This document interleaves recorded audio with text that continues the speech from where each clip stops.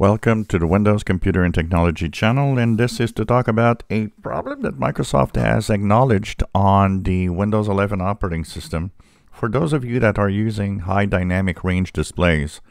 So if you're using an HDR display, you might have noticed that the rendering of the colors isn't right. You might have noticed all sorts of little artifacts showing on the screen. So Microsoft has acknowledged that it is a problem and of course, um, if you want to know if that is the cause of the problem and not maybe your monitor, make sure that you are using HDR. To see that, you can go and go into the Settings app.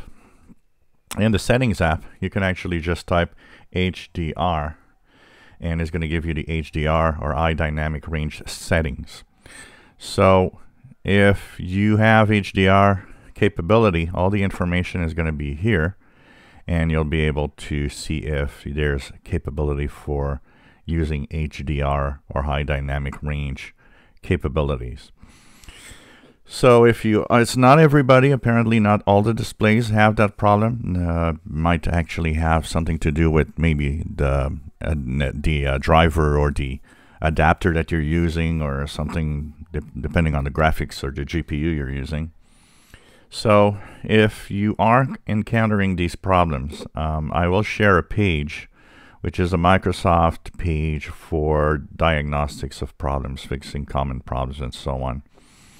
So um, if you have issues, go through here. Apparently there's uh, all sorts of little things you can try and um, see if it actually works for you or not in a fix. But Microsoft does acknowledge it's a problem they said the fix will arrive with the bug fixing updates that will happen only in late January. So uh, you've got a month before this is fixed, actually.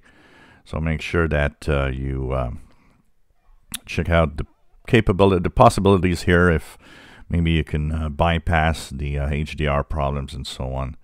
But um, if you are having weird artifacts, if, if the colors just don't seem right, um, apparently a lot of people using Photoshop, for example, I've noticed that in editing pictures, uh, the colors are all screwed up.